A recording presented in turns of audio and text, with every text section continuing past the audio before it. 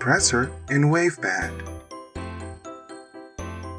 The compressor tool is located on both the levels and the effects tabs. Click the compress button to open the dynamic range compressor dialog. From here, you can quickly select a preset compression or choose to set your own compression by using the simple and graphic interfaces.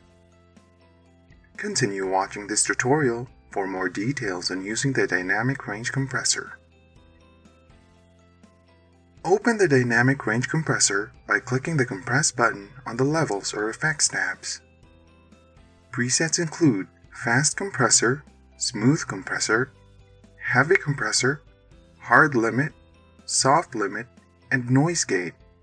When you select a preset, the graph will change to show the settings. Click the Reload button next to the waveform to view the waveform with the compression applied. Click play to listen to the file with compression. You are listening to an audio sample. While playing the file, hold down the bypass button to listen to the file without compression. You are listening to an audio sample. You are listening to an audio sample.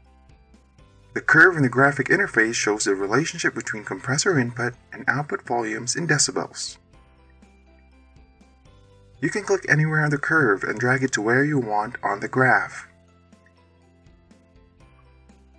All bends in the curve are shown by a black square dot. You can remove these by right-clicking on them. The simple interface lets you set a maximum volume with a limiter, to remove low volume sounds with a noise gate and add compression between the limiter and noise gate settings. Any changes made here can be seen graphically in the graphic interface. If you want to start over, click the default button to remove any compression. When you are happy with the compression, you can apply it to your file by clicking Apply. You are listening to an audio sample. The Advanced button opens the Advanced Compressor Settings dialog.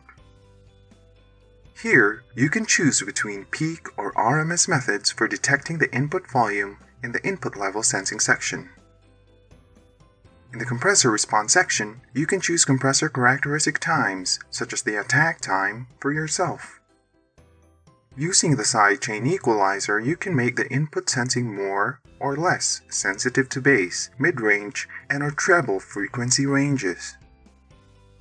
You are listening to an audio sample.